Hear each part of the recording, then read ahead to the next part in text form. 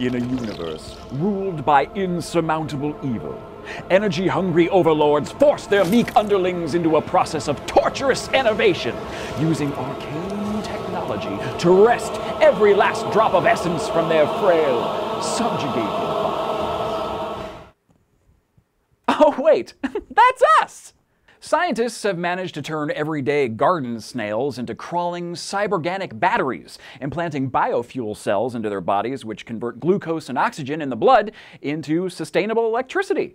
This tiny generator can last up to six months. All the snail has to do is eat and stay alive.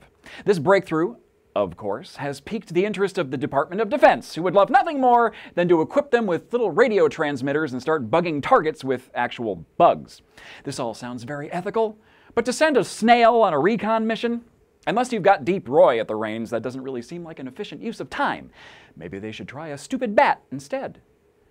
Reach the stars, fly a fantasy.